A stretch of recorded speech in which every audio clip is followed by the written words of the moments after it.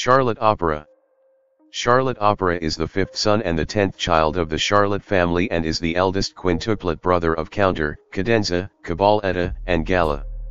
He also is an officer of the Big Mom Pirates and served as Totto Land's Minister of Whipped Cream governing over Noko Island. His current status is unknown after having his lifespan removed by a rampaging Big Mom. Opera seems to be analytical, as he deduced that Luffy must be nearby upon finding the defeated Cracker.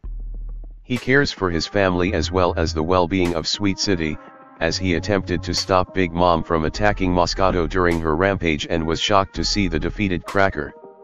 He also has a tendency to treat serious matters with a nonchalant attitude, so long as they do not affect him, as shown when he prepared to torture Nami with only a plain expression on his face.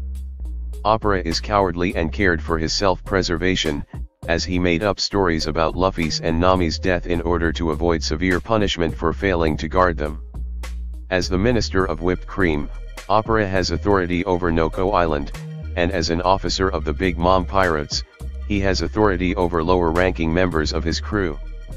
Because of his large size, he has considerable physical strength, as he was able to easily pick up a young boy with one hand. Opera ate the Kuri Kuri no Mi, a paramecia-type devil fruit that allows him to create and manipulate cream. His fruit is able to raise the heat of the sugar within the cream, to the point of burning off flesh merely by touching it. When he prepared to torture Nami, Opera wielded a crossbow.